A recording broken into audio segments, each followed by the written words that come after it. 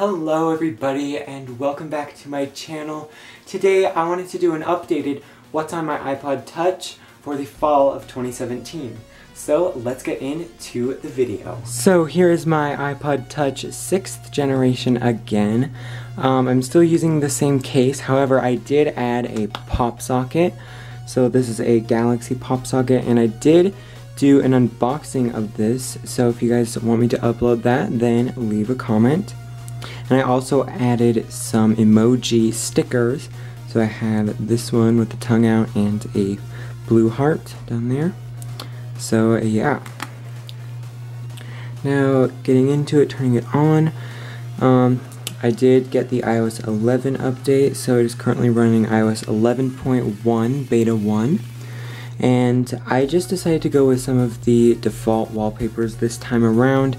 So um, I have this classic Apple one for my lock screen, and then for my home screen I just have the default iOS 11 wallpaper, so I will probably change those soon. So now let's get into my apps. So first of all I have the camera, Safari, Notes, TV, App Store, Clock, Maps, Reminders, Calculator, Instagram, Snapchat, YouTube. And if you want to follow me on Instagram or Snapchat, then here are my usernames. So it's the same for both. So there you go.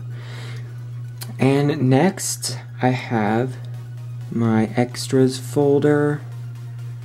So inside of here I have the Apple Store, Bitmoji, Contacts, FaceTime, GroupMe, iBooks, Road Ready, which is for logging your driving hours. I have voice memos, weather, and then on the second page, I have cat paint, which I don't really use a whole lot anymore. Uh, I'm gonna have to re-download it, but I'll show you guys that once it's done. I have Chip, which is the app for Chip, which is a robot dog. I don't know if you've ever seen it before. So it is done downloading. So let me show you this. So basically you have um, this galaxy background. You can choose your own photo, I think. And then you can add cats. Um, I think this is 199 but it also comes with iMessage stickers. So yeah, it's kind of funny. I don't know. Uh, anyways, next I have Find iPhone, I have Geekbench 4, Health, and I have the Starbucks secret menu app. So I'll show you that once it's done. And next I have Google Street View and Wallet. So it's almost done and here we go. So basically this is where you can find all of the Starbucks secret menu items. Well actually not all of them, I think you have to um, get the paid version of the app, which is like $1.99 or something to get the whole menu or something like that, I don't know. But it's really useful, you can find all of the um, secret menu frappuccinos and things. You can see how to order it, so yeah, it's really, really good. Um, and next I just have settings. And then on my dock here I have messages, mail, photos, and I have this little folder here. So I have some games and things in here. So I have Tiny Tower, Kleptocats, Tiny Wings, music.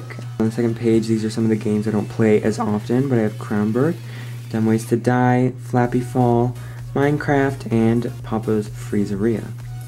So just some games, and then on my second page, I have the eBay app.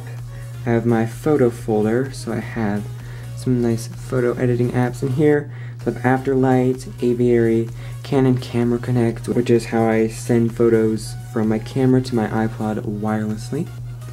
I have Google Photos, Line Camera, PicStitch, PicsArt, and Snapseed. And finally, I have my other folder. So in here, I have the calendar, the feedback app, since I am part of the Apple Developers Program. I have Stack AR, which I'll, I'll show you this really quick. Um, so Stack has been out for a while, but they just came out with the Stack AR, which is basically augmented reality. But sadly, when I try to tap it, it says AR mode is not supported on this device, but I've seen it's really cool. But yeah, it's a really good game. And then next I have StudentVUE, which is what I use to check my grades. And finally I have the YouTube Creator Studio app, which is how I, oh I'm in airplane mode. It's how I check all of my YouTube comments and other things. So yeah, those are basically all of my apps. So next I will just show you the widgets page I guess. So I have my Siri app suggestions up top, have my weather, and I have my batteries and Snapchat. So that's basically for that, and I'll also show you my control center since this is now customizable. So I have the flashlight, um, yeah, and then I have calculator, stopwatch, camera, have the Apple TV one, even though I don't have an Apple TV, but I might get one soon. So yeah, I used to have low power mode there, but then they removed it, unfortunately. And then I have my little silent thing. And then I have notes. Sorry, notes. And then screen recording. So that's my control center. And I guess we can go through some of my music. So, um, I have gotten a lot more songs and I want to get even more soon. So, I have Taylor's new one, Look What You Made Me Do. love this song. Yes, and then I have also Kesha Praying. This one's so good. So good. Um, yeah, I'm gonna download a bunch more songs tonight, maybe.